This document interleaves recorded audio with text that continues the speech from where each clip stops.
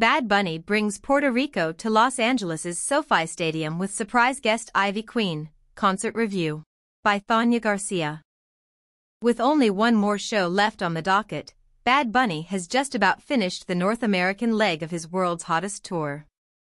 That title has certainly lived up to its promise, as the Puerto Rican phenom achieved the top grossing tour of August with this trek, consisting of several stops in the country's biggest venues. Last night, he pulled out all the stops for the first of two back-to-back shows at Los Angeles' SoFi Stadium. He brought out several guests, including the reggaeton pioneer Ivy Queen, who played a medley of her hottest hits and declared his love for LA, inciting cheers throughout the night with Los Latinos in LA, KSE Sienta. After a few discussions circulated online that the singer seemed dispirited on stage over his home island's bout with Hurricane Fiona, Bunny appeared to be in the best of moods Friday night.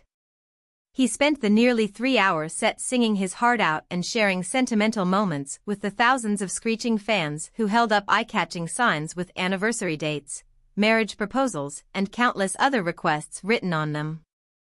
At around 8.50 p.m., the glimmering introductory notes of Moscow Mule, the first cut from Un Verano Sin Ti, kicked the night off. The piercing screams and shaky floorboards ushered Bad Bunny's launch. From there, he welcomed his first surprise guest, Chencho Corleone onto the stage. The pair sang their summer-defining Me Porto Bonito and instructed the stadium to sing along in an a cappella rendition of its infectious chorus.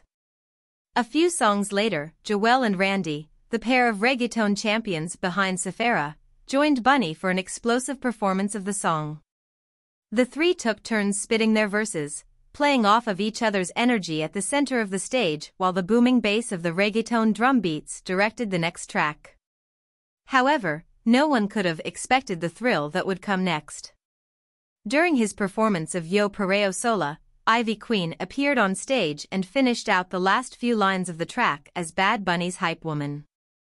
The Puerto Rican singer and pioneer of the Latin urban scene sported a bedazzled Playboy bunny-inspired blue, white and red ensemble, emblazoned with the Puerto Rican flag. Accompanied by Bad Bunny's hand, the singer approached the front of the stage where she completed a short set list of her biggest hits starting with Te He Querido, plus Quiero Bailar and Quítate Tú Pa Ponerme Yo. He and his dancers then took a short seated break on the stage's faux beach setup to take turns drinking from a bottle of wine while interacting with fans in the first rows. He jokingly pointed out a brunette girl who was sitting on someone's shoulders as Becky G, put a call out for all the party-going singles in the room and sent a few well wishes to all the couples, before welcoming one more guest that night, Bomba Estéreo's Li Saumet, who joined him on stage in a neon pink and green look for their Latin Grammy-nominated Ojitos Lindos. The night continued with Bad Bunny delivering a speech, of which he repeated bits and pieces throughout the night, expressing his appreciation to fans who had been there for him since 2016, and to those who had joined him during the release of his blockbuster Un Verano. By the time the night's finishers, El Apagón and Después de la Playa, began to play, the audience was ready to give up any last bits of energy they had left.